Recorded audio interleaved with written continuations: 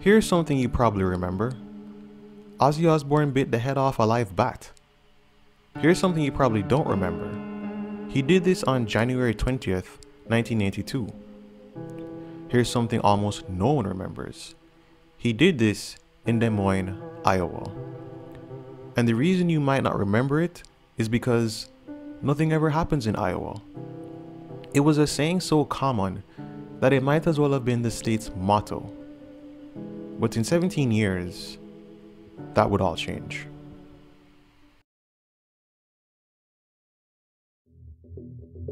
Despite its prairie and savanna grasslands, an agricultural recession in the 1980s led to Iowa's citizens fleeing for greener pastures and more economic opportunities.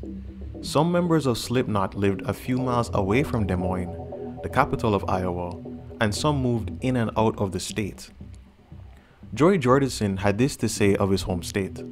We were raised in an environment where you had to develop your own sense of individuality. I had 16,000 imaginary friends. I had my own fucking army. Ozzy's antics on that fateful January night got him permabanned from concerts in Iowa. The aging population of the state didn't take kindly to his bizarre ways. Ultimately, that didn't matter. Something far more sinister was brewing. Joey was only 6 years old when this happened. He didn't get to go to the concert, but he heard about it when he heard his parents outraged by the rocker's savagery. I immediately thought that Ozzy ruled. I knew something was going on with that music, and I had to get my hands on it. I bought his Blizzard of Oz album soon after. Jordison seemed to be christened a special kid.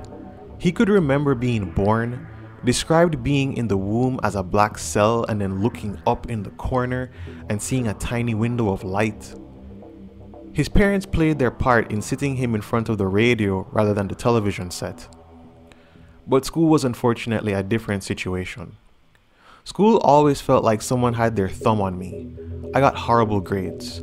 I was really introverted and didn't have many friends.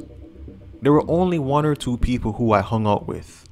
I just stayed by my locker with my headphones on and concentrated on my own little universe of music.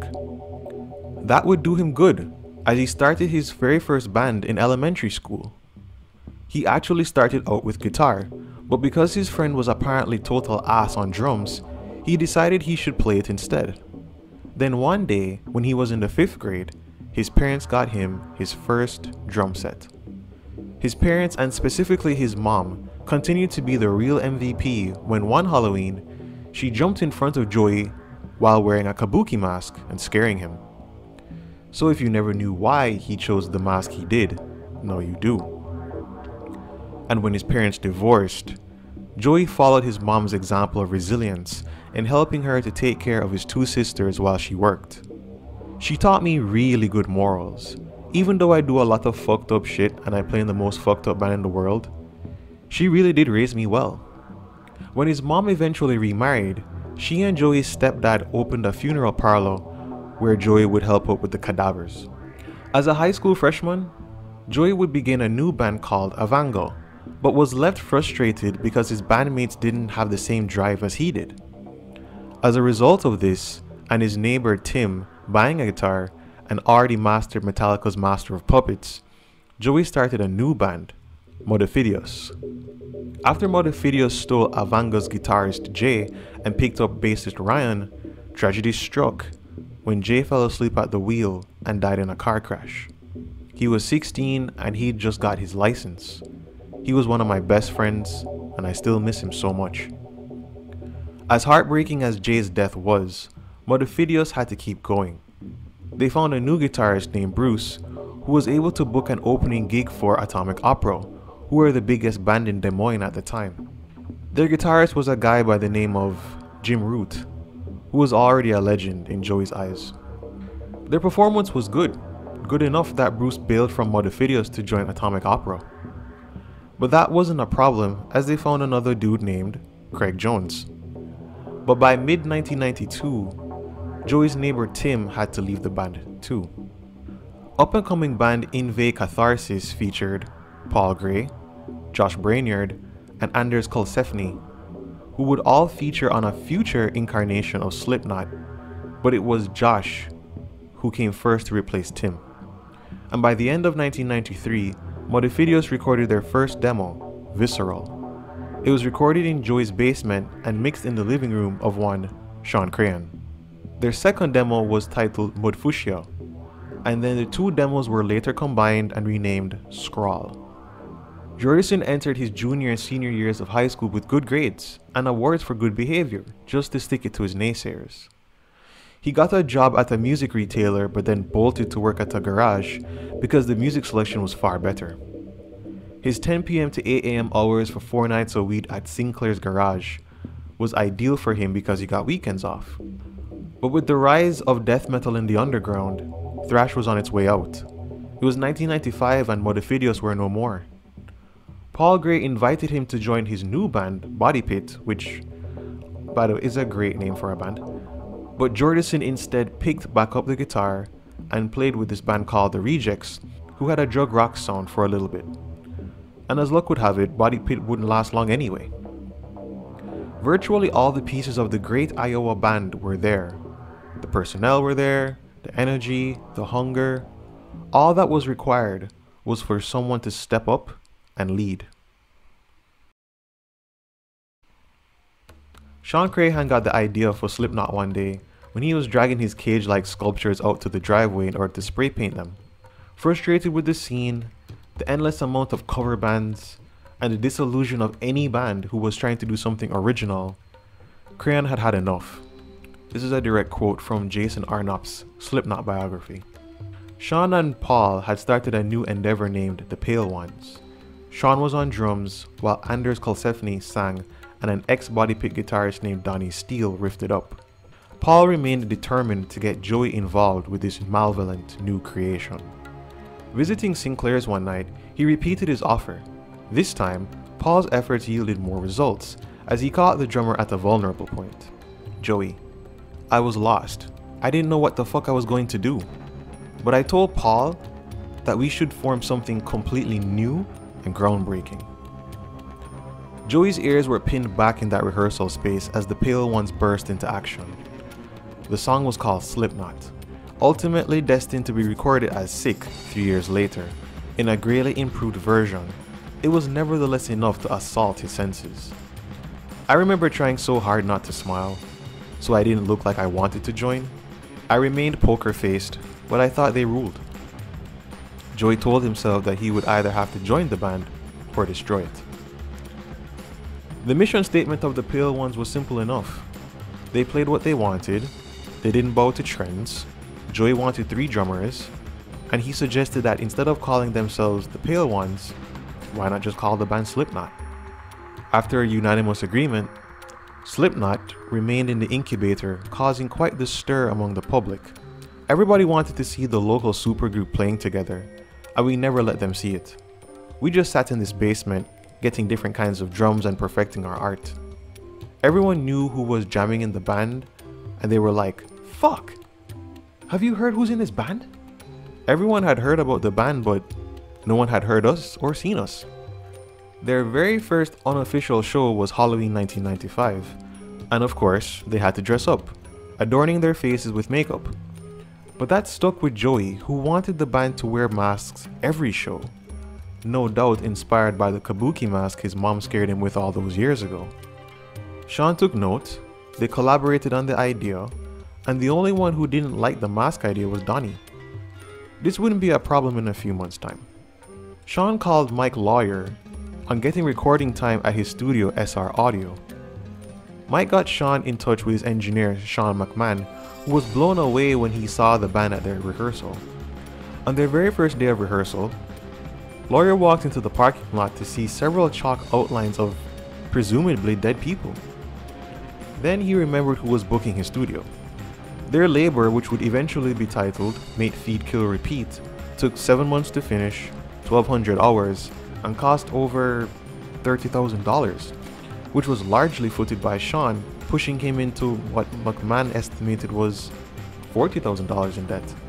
Such was Clown's appetite for success. The band made SR Audio their home. They hung up pin-up chicks, brought porn, chain smoked, drilled holes in the wall, and erected their extracurricular art pieces. This was when Clone opted for new percussion by keeping the oil drum and adding beer kegs and garage door opening springs. When the winter of 1995 hit, the band was undeterred. When most people were closing stores and schools and having snow days, Slipknot was still hard at work. Anders picked up Crahan and McMahon, went to the studio, and worked through the night. McMahon recalled one interesting recording session. Joey was having a problem nailing one song, so he took off his clothes and played it naked. Then he nailed it. It was where he needed to be in order to get that power. I don't know what the logic was, but it worked. As for Donnie Steele, he ended up leaving the band due to his religious beliefs, and possibly because he didn't quite realize the type of band Slipknot was. I mean, if the Halloween masks, pornography, blood curdling screams, and homicidal machinations didn't tip him off, I suppose he needed it all at once for it to sink in? But this wasn't a problem, as the band simply recruited Craig Jones to fill the void. Slipknot had their proper debut show at Safari on April 4, 1996. Joey said the vibe of the night was crazy, and he recounted what his bandmates were wearing. Paul had this wire strung all over his head, through his piercings and through his tongue. Andy had tape strung all over him. Josh had an executioner hood. Craig had stalker type pantyhose over his head, which meant he couldn't even see what he was playing. Sean and I had the masks we always had. From Arnopp's Slipknot biography. Then something unnerving happened. Joey Jordison grabbed the microphone and informed the audience, I need a little Christmas in my drink. Then he said it again and again, increasing the volume and intensity of his voice with each repetition. This was him recreating a tradition from his grandfather at Christmas, would hold up a glass of Coke and request a little Christmas, which was a bottle of Jack Daniels. I got maniacal with it. I went ape shit and started screaming. People were losing their minds. I had so much energy that first show that I tripped the whole band out. They had been nervous, but immediately they were all jacked. They were ready to kill. When the feedback and his own ranting had reached fever pitch, Joey moved back to the drum kit and the band slammed into the song Slipknot. That, Joey still believed in October 2000, was quote, the best feeling I've ever had, end quote. Fun fact, that was 21 days before Joey's 21st birthday. The band's second show was the following night and featured them and Corey Taylor's Stone Sour. Prior to Slipknot's first show, Stone Sour was the premier band in Des Moines. After Slipknot's first show, that wasn't necessarily the case anymore.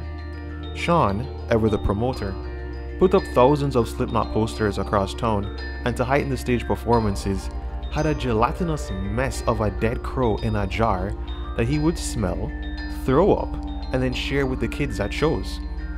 They'd dip their hands in it and even get some on their faces. At this point, Craig moved to sampling and Mick Thompson stepped in for guitar duty. It was Joey who recruited Mick, despite their shared disdain for one another. Me and Mick used to hate each other. We just never knew each other and we thought each other were dicks. To me, Mick just seemed to be about macho shit. Then I got to know him properly. As for the finishing touches on Mate Feed Kill Repeat, the barometer of greatness was Joey's boombox that he played at the garage. The guys would make a test CD, play it through Joey's boombox, and if it sounded good, then it passed.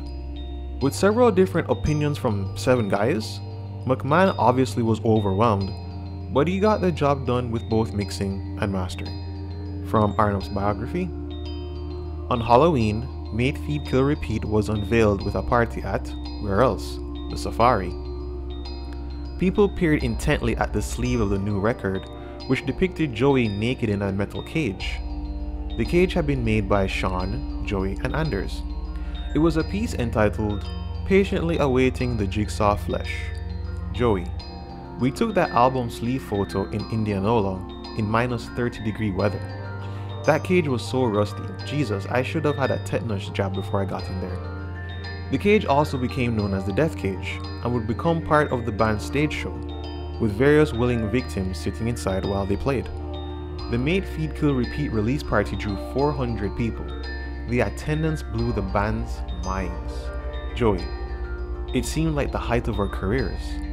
We thought it couldn't get any better than that. Later, a battle of the bands pitted Slipknot against none other than Stone Sour.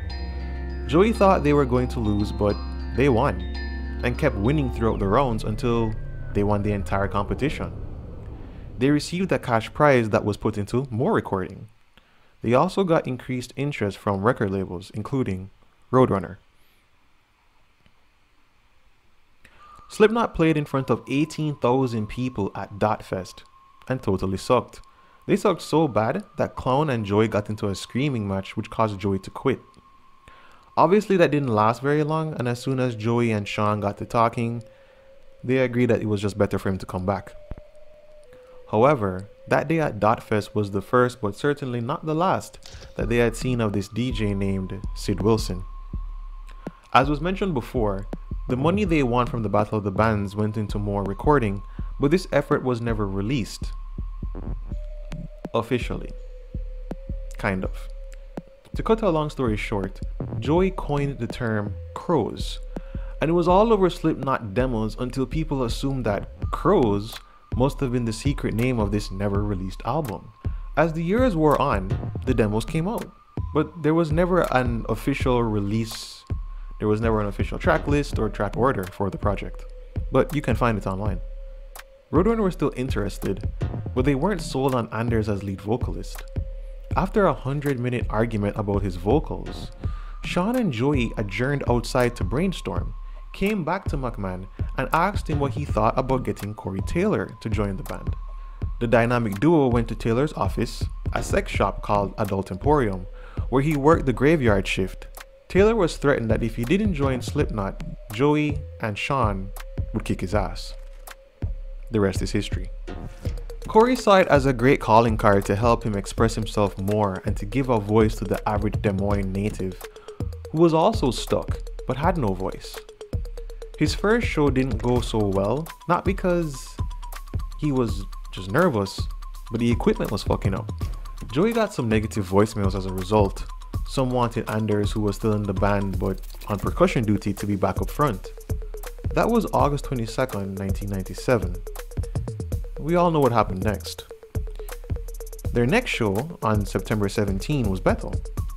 Corey replaced the makeup job from the first show with the mask we all know today with the holes at the top of his head for the dreads to hang out of. However, Corey was upstaged by Anders, who announced on stage and right before they were about to close the show with scissors that this would be his final show. The only one who knew that was coming was Anders. Joey accepted Anders' resignation pretty easily, but noted that Sean had a more difficult time. I remember Sean pacing back and forth, shaking his head as we played the song. I tried to tell him not to let it show. They were really good friends, so for Sean, it went deeper.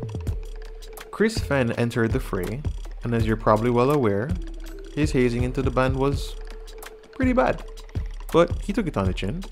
The band took to hazing their fans too, as Corey had beaver tail on stage, gifted to him by Clown, and they squeezed the beaver tail juice all over themselves, threw up, and had a laugh. The band also set up televisions showcasing scatology and suicide.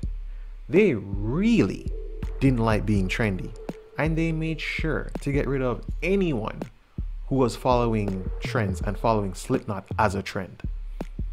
Slipknot was crushing it though, and their manager at the time, Sophia John, put out a call to John Reis. She wanted a contact for Ross Robinson in the hopes that he would produce Slipknot's next album, not knowing that John Reis managed Ross Robinson.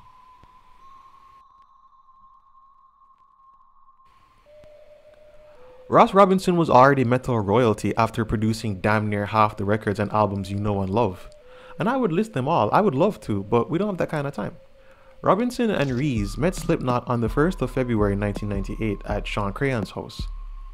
Robinson said, They were all smoking and hanging out. Then, when they saw my car coming, they all ran into the house. That was pretty cool. Slipknot was a band of scrutiny. No one could just enter the basement. But as Jordison put it, Ross was the 10th member of Slipknot without even knowing it yet. He was an honorary member. He could come in. They decided to play for Ross, but everyone's nerves showed. Joey counted them in and a stick flew out of his hand. But when Robinson watched the band play unmasked, he couldn't help but think that the masks were an obstacle to seeing the actual facial expressions of each band member. Now, obviously, he would never change the image, but he loved just how expressive they were. Joey told Metal Update, Ross had a smile on his face from ear to ear. He said, I've been waiting for a band like you guys. On February 2nd, the next day, Robinson saw Slipknot live, in masks. He said of the event, they barged through the crowd like destructors. Joey was on Mick's shoulders, kicking people and hitting them on the back of the head. They were ready to rip the audience apart. Joey felt an immediate link with Ross. He said, We definitely had a connection. There's not many people I feel that much of a connection with. Me and Ross are the same guy. We've been through the exact same things. Stuff happened at the exact same points in our lives. These days, we can pretty much complete each other's sentences. After the show, the band and Ross went to get some food, but Joey and Ross sneaked off to listen to the debut Soulfly album Ross just finished producing. Then Joey gave Ross the new Slipknot windbreaker the band had just got made. As a matter of fact, he gave him his windbreaker. In a matter of days, Ross's manager got in touch with Slipknot's manager and said he wanted to do an album with them. They weren't even signed to a label yet. In February 1998, well, later in February 1998, a blast from the past would reveal itself. Enter Sid Wilson. He was DJing with Soundproof Coalition, told Joey and Sean that he had seen them at Dotfest, and offered his services if they needed it. Sean gave him his number, Sid drove Sean up a wall, calling him all the time, and then he just let him into the band. Right before a show on March 11, Sid headbutted every member of the band, and when they were playing Tattered and Torn, Sid headbutted Sean 16 times, knocking him down. Ross Robinson signed the band to his I Am record label, which would eventually become an imprint on Roadrunner Records. Slipknot became the first signed band out of Des Moines when they put pen to paper in a tattoo parlor called The Axiom in front of an untold number of journalists. The little 5 foot 3 guy and his best friends were on the verge of superstardom. Ozzy's blood sacrifice all those years ago paved the way for Iowa's most prized export. And they did it by staying true to the vision and true to themselves. When someone constantly tells you to get a real job and quit spending your money on new drum pedals, all that shit circles around in your head. There's a constant hate in me. It never leaves, and it comes out every day. We were degraded for so long and had fingers pointed at us. When you get that middle finger as much as we did, you just want to throw it back in their faces. His co-conspirator, Shawn Crahan, had this to say. I'm a big fan of Joey's drumming. There's not a day in practice or during a show that I'm not amazed. There was still one more change to this classic lineup to come, but Slipknot was more than ready for world domination. Thanks for watching.